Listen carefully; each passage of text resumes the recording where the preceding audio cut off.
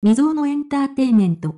ゴルフカートで疾走するアイドルの秘密とは岸くんのアイデアがライブをどう変えたのか紫輝くんの GOAT 筋、すごすぎ。私は CDTV のライブイベントに参加しました。そこでは、数多くのアーティストが海のパフォーマンスを披露し、その中でも驚きと感動に満ちた瞬間がありました。一つのショーが終わるたびに、観客は拍手喝采し、そのアーティストの素晴らしさを称えました。しかし、その中でも特に目を引いたのが、グループ、ゴートのパフォーマンスでした。ナンバー、愛のメンバーは、まさにステージ上で神々しい存在のようでした。そのダイナミックなライブパフォーマンスには、カメラワークから照明、そして彼ら自身の歌唱力やダンスパフォーマンスまで、すべてが完璧に調和していました。ステージ上での彼らの存在感は、まさに過去最高と言えるほどのものでした。しかし、私が特に感銘を受けたのは、彼らがステージ上でゴルフカートに乗って登場した瞬間でした。普段ならば考えられないような演出でありながら、それが彼らのパフォーマンスに完璧にマッチしていたのです。彼らはまさにエンターテイメントの頂点に立つ存在として観客を圧倒しました。カート持ち込むの大変だったろうな。輸送費とか、でも持ち込んでくれた価値があるマジでほんまに最高。た、ラップもダンスも最高にかっこいい。さすが聖ライブを数多くこなされてるだけあって CDTV カメラワークマジで神。その後のパフォーマンスも彼らのクオリティを示すものでした。ラップのスキルやダンスのパフォーマンス、そして表情までもが完璧に調和していました。観客は彼らの魅力に引き込まれ、ステージから目が離せませんでした。もう何度も聞いているゴートだけど、やっぱライブは最高にかっこいい。キレキレのやべえヤギ、かっこよかった。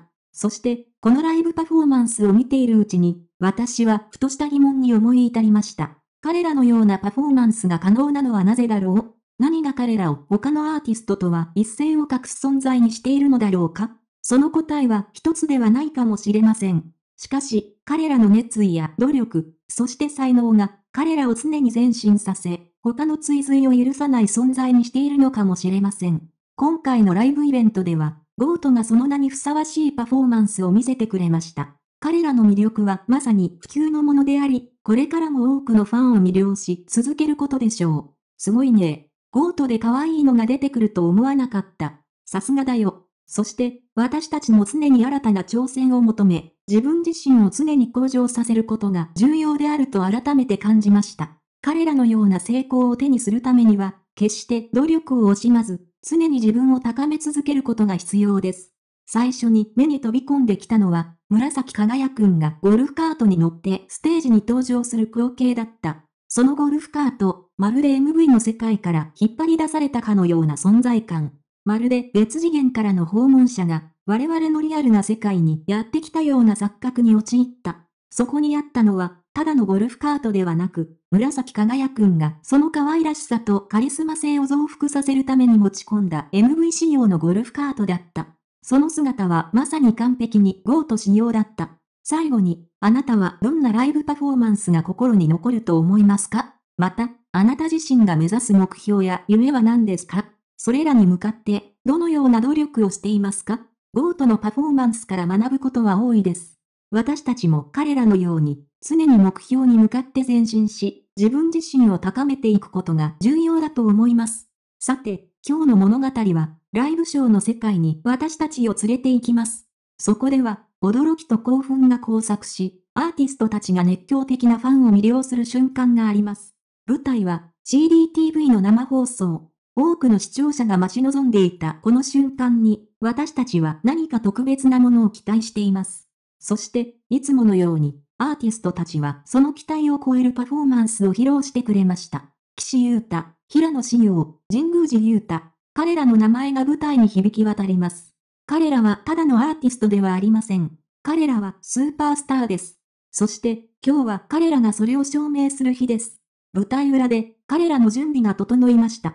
カートが運び込まれ、ライブの興奮が高まっています。ファンは熱狂し、彼らの期待は最高潮に達します。そして、いよいよ始まります。カメラがステージに向けられ、その瞬間を捉えます。ラップのリズムが響き渡り、ダンスの動きがステージを彩ります。彼らの表情、演出、照明、すべてが完璧です。彼らはただかを歌っているだけではありません。彼らは物語を語り、感情を伝えています。それは生化であり、生きたパフォーマンスです。そして、私たちはその魔法に引き込まれます。そして、ライブの終わりに、私たちはただただ驚嘆の声を上げます。彼らのパフォーマンスは、まさに最高でした。彼らはカートに乗って、ステージを駆け抜けました。その姿はまるで MV の世界から抜け出してきたかのようでした。さて、今日の出来事は一体何だったのでしょうか？エイプリルフールの継続中か、それともただの驚きの日か、それは誰にもわかりません。ただ、私たちはその瞬間を楽しんで、彼らのパフォーマンスに感動しました。最後に、私たちに残されたのは、彼らのパフォーマンスを通じて感じた感動と興奮です。彼らの素晴らしい才能と情熱に触れ、私たちは幸せで胸いっぱいになりました。そして、次なる冒険が待ち受けています。私たちは彼らの次なるパフォーマンスを心待ちにしています。彼らが私たちにもたらす驚きと感動に期待して、彼らの世界に再び足を踏み入れる日が来るのを楽しみにしています。さて、次なる舞台はどこでしょうか？私たちはワクワクして待ち遠しいですね。4年以上にわたって音楽シーンで活躍し、様々なライブをこなしてきた経験から、私は音楽の魔法がどのようにして人々の心を捉え、魅了するのかを熟知しています。そして、今回の CDTV のパフォーマンスに関して、私はあまりの感動に言葉を失いました。CDTV のステージに立ったアーティストたちが、まるで魔法使いのように魅了的なパフォーマンスを披露していたのです。その瞬間、まるで魔法にかかったように観客はその魅力に引き込まれ、その魔法はカメラを通じて私たちの画面にも伝わってきました。特に、ゴルフカートを持ち込んでのパフォーマンスは驚くべきものでした。まるで MV の世界から飛び出してきたかのような演出に、観客は息を飲むばかりでした。カメラワークや照明、そしてアーティストたちのキレッキレのラップやダンス、すべてが完璧に調和し、まさに圧巻のパフォーマンスでした。しかし、一体何が起こっているのか、私は完全に放心状態に陥ってしまいました。エイプリルフールのいたずらかと思いましたが、それはそうではありませんでした。これはまさに現実の驚きであり、音楽シーンに新たなる風を吹き込んだ瞬間でした。